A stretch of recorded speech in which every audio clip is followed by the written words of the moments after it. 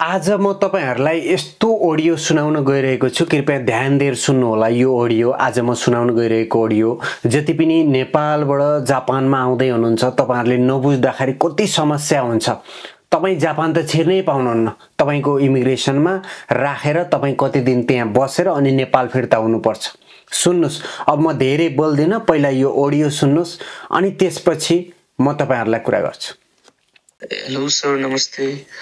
मैले हजुरलाई इमेलमा मेसेज गरेको थिएँ हजुर सुन्नुहोस् न मेरो भाइ हेर्नु न हिजो जापान गएको हो भिजिटको लागि भनेर हो यसरी घुम्नलाई अहिलेसम्म तिन चारवटा देश गइसक्यो अनि जापान पनि भिजिटकै लागि गएको त्यस्तो त्यो बस्ने हिसाबले यताउति हिसाबले गएको नि होइन।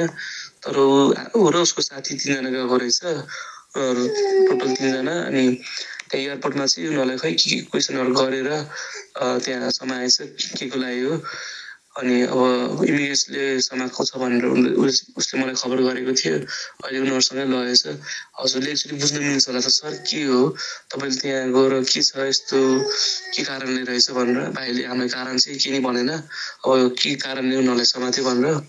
एकचोटि हजुरले गएर सोधिदिनुहोस् न है। म हजुरलाई डिटेल पनि पठाइदिन्छु नि त त्यो भाइको मसँग। गएको त्यो उनीहरू बस्ने होटेलहरू सबै ओरिजिनलै डकुमेन्ट छ त्यस्तो केही फेक बनाएर लगेको छैन उनीहरू त्यस्तो बस्ने नेटले पनि गएको होइन खास घुम्नलाई भनेर गएको। हामी सबैको यहाँ बिजनेस भएकै मान्छेहरू हौँ त्यही भएर। है सर? टाइमको अनुसार चाहिँ एघार तिससम्म चाहिँ हामीसँग सम्पर्कमा थियो होइन? कुराहरू भएको थियो उसले लास्ट त्यही अब पछि चाहिँ अनलाइन पनि देखाएन मेसेज पनि रिप्लाई गरेन। त्यही हामीलाई एकदम चिन्ता लागेरै हो कहाँ लग्यो के गर्यो कसो गर्यो त्यही भएर एकचोटि बुझिदिनुहोस् न सर।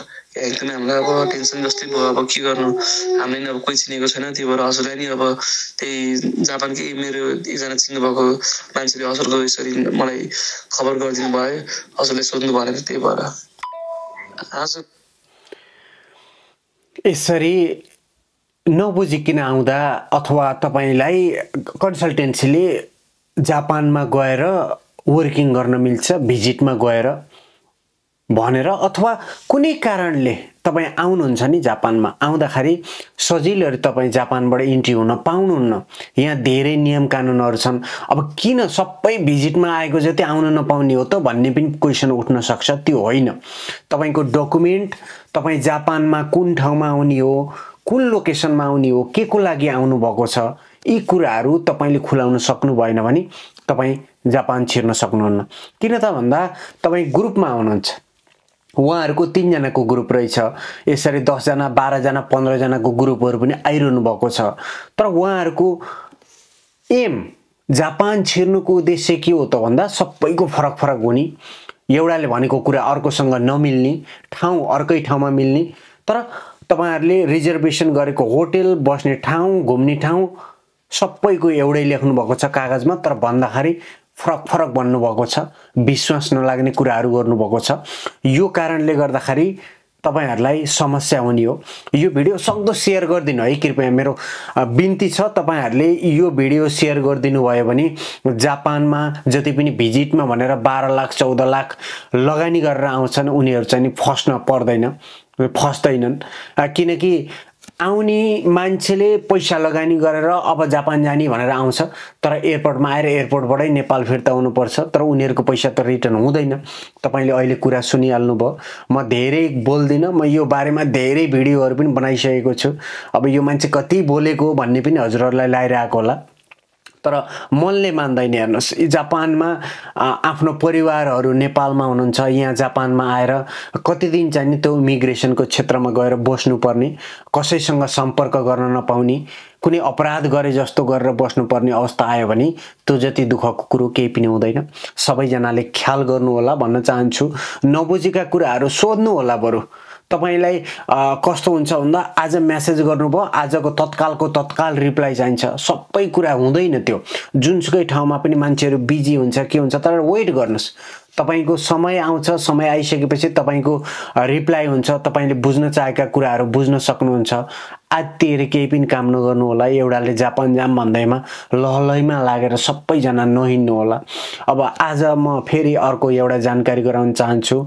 जापानमा बसेर नेपाल गएर फेरि यहाँबाट चाहिँ नि कम्पनीले तपाईँको वर्किङमा पठाएको मान्छे पनि यही केसमा इमिग्रेसनमा पर्नुभएको छ। कुरा बुझ्दै जाँदाखेरि उहाँको काम चाहिँ नि एक्टिभ देखिएको छैन इमिग्रेसनमा एक्टिभ नदेखिएको कारणले गर्दाखेरि तपाईँ छिर्न पाउनुहुन्न भनेर पनि लगाएको छ। अलिकति अब सुन्दाखेरि पनि कस्तो होला यो यो के हो एक्टिभ भनेको भन्ने पनि होला।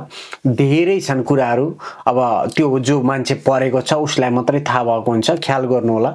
यही भन्न चाहन्छु। र यो धेरैजनाको यो इमिग्रेसनमा आएर बस्नुपर्ने र इमिग्रेसनबाट नै कति दिन राखेर अनि त्यसपछि नेपाल फिर्ता हुनुपर्ने अवस्था धेरैजनाको आएको कारणले गर्दाखेरि म एक्लैले नसक्ने भएको भएको कारणले गर्दा मा एनआरएनएका अध्यक्ष नवीन न्युरेज्यूलाई मैले यो बारेमा जानकारी गराएको थिएँ। उहाँले चाहिँ नि तत्कालै यो बारेमा बुझ्नु पर्यो भनेर मैले उहाँलाई कुरा राखेको थिएँ र उहाँले तत्कालै म पनि यो बारेमा बुझ्छु भनेर उहाँले मलाई वचन दिनुभएको थियो।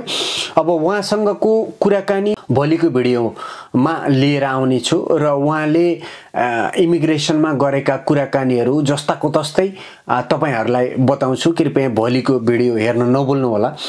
जस्तो नेपालबाट जापानको इमिग्रेसनमा आइसकेपछि इमिग्रेसनमा राख्नुको कारण के रहेछ त? भन्ने बारेमा तपाईँले पनि बुझ्नुपर्छ।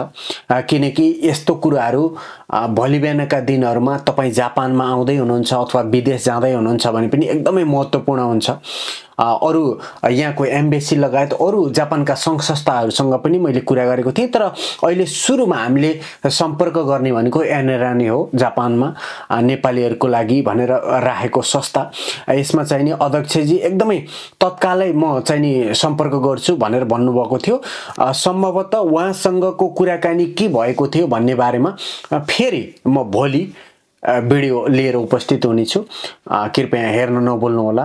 र इमिग्रेसनमा किन राख्छ त यसरी नेपालीहरू भिजिटमा आउँदाखेरि भन्ने बारेमा? जान्ने तरिकाले हजुरहरूले बुझ्ने तरिकाले उहाँसँग गरेका कुराकानीहरू राख्नेछु यही भन्न चाहन्छु र सबैजना केयर हुनुहोला विदेश जाँदै हुनुहुन्छ भने ख्याल गर्नुहोला त्यत्तिकै पैसा नबुझाउनु होला एकचोटि डुबिसकेपछि फेरि रिटर्न आउँदैन त्यो पैसा। यही भन्न चाहन्छु। हजुरको दिन शुभ रहोस्। नमस्कार।